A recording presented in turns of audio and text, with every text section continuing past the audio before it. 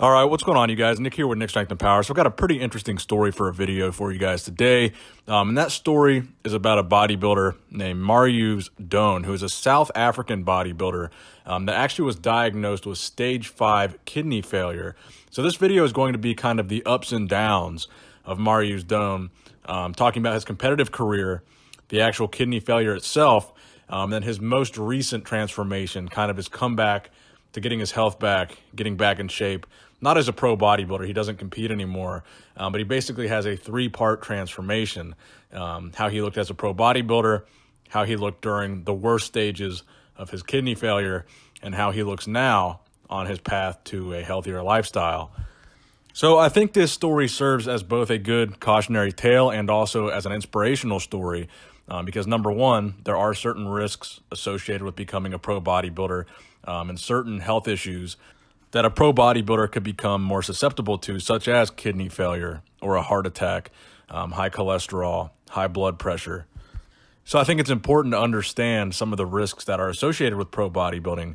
But at the same time, um, this is a positive story. Even though a very unfortunate disease happened to Marius Dohne, he's able to come back um, and he was able to recover his health. He was able to recover his physique, not a pro bodybuilder physique, but he was able to get back into the gym and start living a healthy lifestyle again.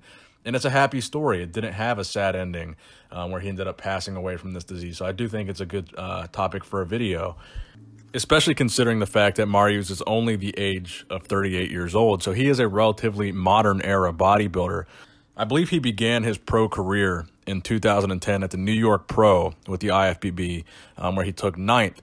And I think his best pro win or his best placing as a pro in the IFBB was in 2011, where he won the Tampa Pro, which is something we're looking forward to now. It's a show that's happening in August. We're going to see Dexter Jackson there. We were going to see Big Ramy there. Tampa Pro is a pretty good uh, open show and a pretty big show for a guy to win.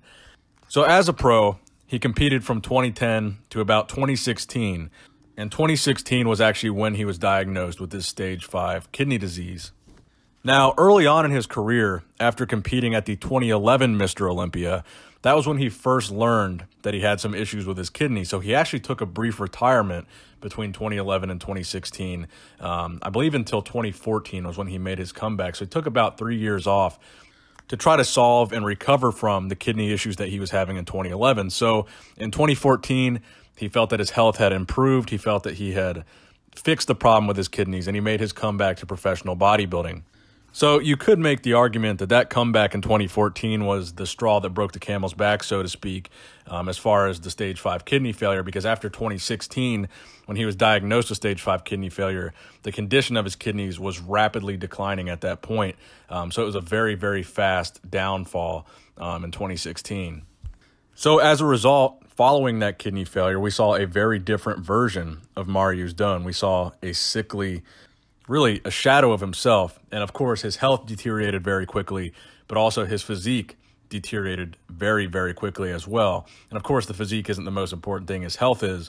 Um, but you certainly saw a noticeable, visible transformation with Marius Dohne just in his body alone. So let's get to the reason I made this video here. So recently, today actually, on his Facebook page, Marius Dohne put up a post of his five month transformation.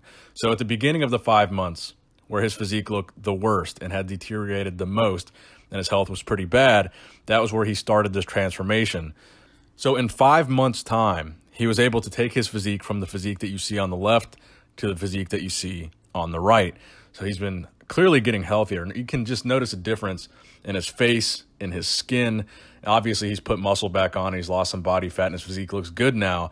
But you can tell a noticeable healthy difference. And he says in the caption, Allow me to take you back before those start photos were taken, say maybe a year, year and a half ago. And he talks about how bad of shape he was in and how he was in a wheelchair, how he could barely work out. And he talks about the long, excruciating journey of being able to walk again, slowly being able to train again um, to where he is now. He can walk, he can train like regular. He's got a very strict diet. He can pick up his son with one hand. Um, he's strong again, and he's, his health is back. And I think this is a very, very positive story um, and a story that definitely needs to be shared in bodybuilding. So that's the video for today, guys. I really do wish the best for Marius Dohne. I'm really happy to see that he's healthy now and he's getting back in shape, getting back in the gym, but more importantly, that he has his health back. Let me know what you guys think in the comment section below. Please give this video a thumbs up for Marius Dohne's five-month transformation. Please subscribe to this channel if you have not subscribed already. And if you have not subscribed to my vlog channel, Nick Strengthen Vlogs, please go over there and subscribe as well for vlogs and bonus content. As always, thank you guys for watching. Nick Strength and Power, signing out.